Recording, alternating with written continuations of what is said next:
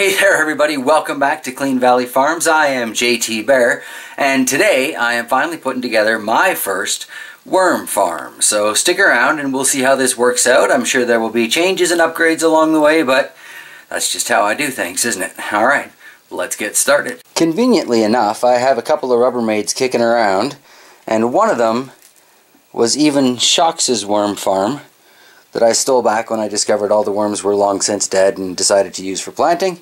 But anyway, now it's going unused at the moment. So back to Worm Farm. Got another tote here without holes. This is going to be my bottom. This is just a super basic setup. not doing anything fancy like a flow through or self-harvesting or any of the stuff I've been watching today. But I will in the future. This is just getting them started. Because a gentleman in my community here, I love this little village we live in, was kind enough to drop off basically a starter kit of worms for me when he discovered that I was interested in doing some worm farming but didn't have any on the go. I love people here, so friendly. So that basically leaves me in a position of, well, I guess I better put something together with what I've got right now. Right? Generally like I do things.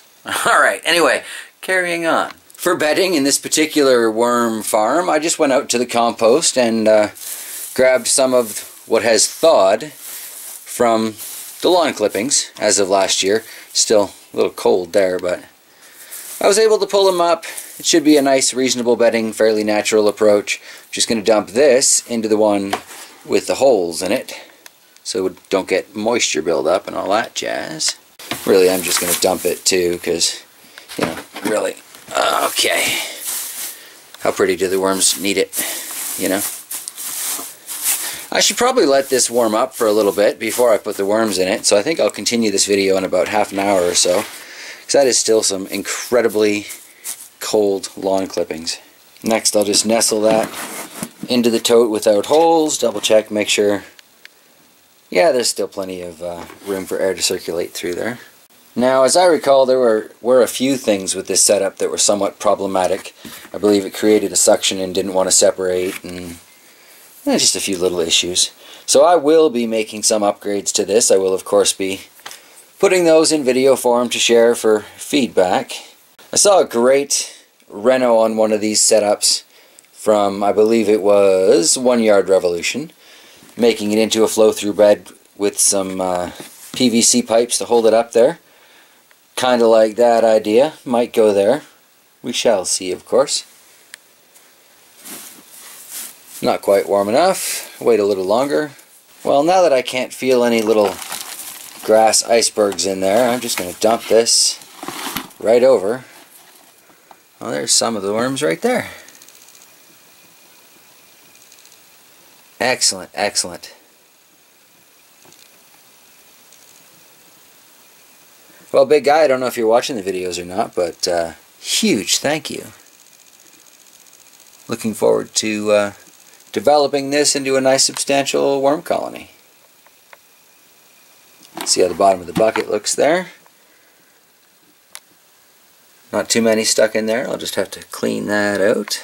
There's one already escaping into the bedding, trying to get away from the light.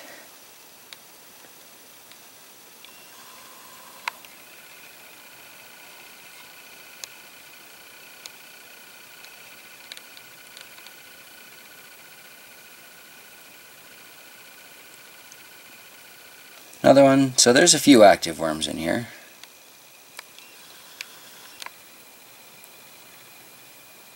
This is from the worm farm that he has going in his basement, so he warned me they may basically still be in hibernation mode because it's kind of cool down in his basement.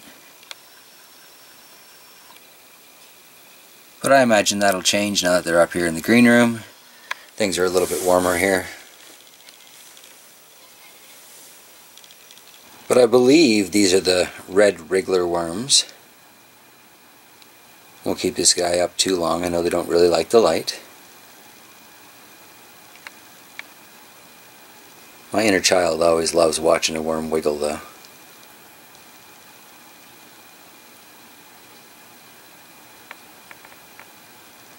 Alright, back to the soil for you. And I'll just throw the lid on it. Now I've seen uh, a lot of people drilling holes in the top of the lids. Seems like a pretty good idea, but I will spare you the annoying sound of the drill. So there you go, no real rhyme or reason to it, just randomly drilled a bunch of little tiny holes in there for air. It'll work just fine, I'm sure. And just put the lid back on. Good to go. Alright. So, as I understand it, there's a rather lengthy list of things that you definitely should not be putting into your worm bin. Um, I am I'm trying to track it down, but I, I haven't found all that much of a comprehensive list yet. If you uh, have anything that you absolutely know should not be going into a worm compost, put it down in the comments below. I'd greatly appreciate the tip as always. And uh, otherwise, we're pretty much going to go with things like coffee grounds, uh, tea, carrot tops, celery, just little things like that. And we're going to try and avoid things like uh, onion peels and I believe orange peels are pretty much useless in any kind of composting situation. Although I understand goats will eat them, so I guess that's one way to compost an orange peel. But uh, yeah, pro banana peels, right? They can go in there. I don't know. I'll do a little bit more YouTube research before I put too much in here. I do plan on basically blending up and, uh, well, food processing the, the food that I put in there just to make it a little easier, a little faster. It's a very small worm colony I've got right now, so I don't imagine they're going to be able to eat too much just yet. But it will be curious to watch them kind of grow and develop and uh, hopefully become a much larger colony.